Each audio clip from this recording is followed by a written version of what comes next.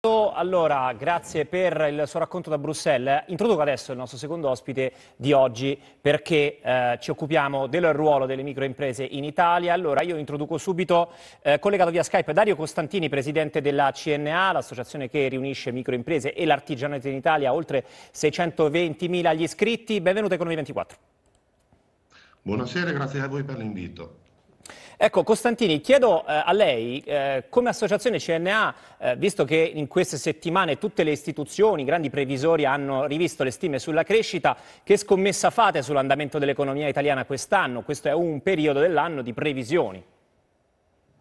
Beh, innanzitutto stiamo a guardare, stiamo ad ascoltare tutte le previsioni che insomma, si stanno susseguendo, l'1% del governo, la Banca d'Italia lo 0,6, il Fondo Monetario 0,7, Abbiamo il nostro osservatorio interno che ci dice che gli ordinativi del 2024 sono minori rispetto al 2023, però vede, noi rappresentiamo l'economia reale e quindi mi permetto di palesare a lei e ai suoi telespettatori che saluto quella che è la previsione della nostra gente. E la previsione che ho raccolto facendo 190.000 km in questi due anni in tutti i territori italiani, dal sud al nord, entrando nelle imprese. Ovviamente le nostre imprese sono preoccupate perché non dimentichiamo che ogni giorno apriamo i giornali e ogni giorno impariamo di nuovi eh, conflitti, magari in quei paesi dove le nostre imprese con tantissima fatica stanno cercando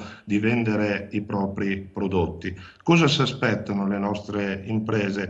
Che guardi, per le nostre imprese 0,7-1% fa poca differenza. Le nostre imprese si aspettano innanzitutto che la BCE velocemente vada a tagliare i tassi e questo taglio dei tassi corrisponda a un reale calo dei tassi bancari. E poi le nostre imprese hanno bisogno di lavorare, le nostre imprese sanno che non c'è crescita, non, non c'è sistemazione dei conti, non c'è nessun risanamento se non si può iniziare a investire e a lavorare. E io in giro per l'Italia ho raccolto due suggestioni particolari sì. che attengono alla voglia di competitività delle nostre imprese.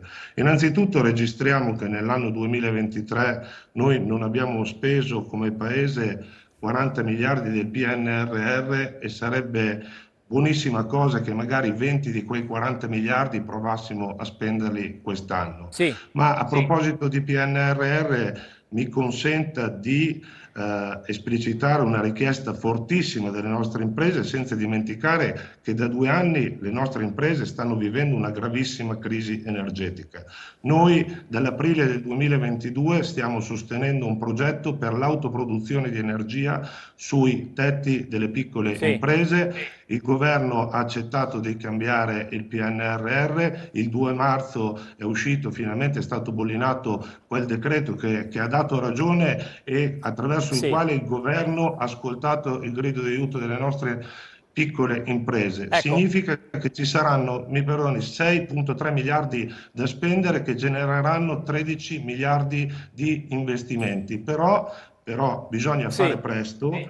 e fare in modo che le imprese possano per fare presto, utilizzare semplicemente questi soldi, perché veda, le nostre imprese tutti i giorni competono sui mercati internazionali e se noi per esempio paghiamo l'energia quattro volte di più dei nostri competitor europei, Chiaro. arriviamo nella competizione già zona. È uno svantaggio competitivo storico dell'Italia e delle imprese italiane. Abbiamo preso appunti, Costantini, resti con noi, è il momento della borsa.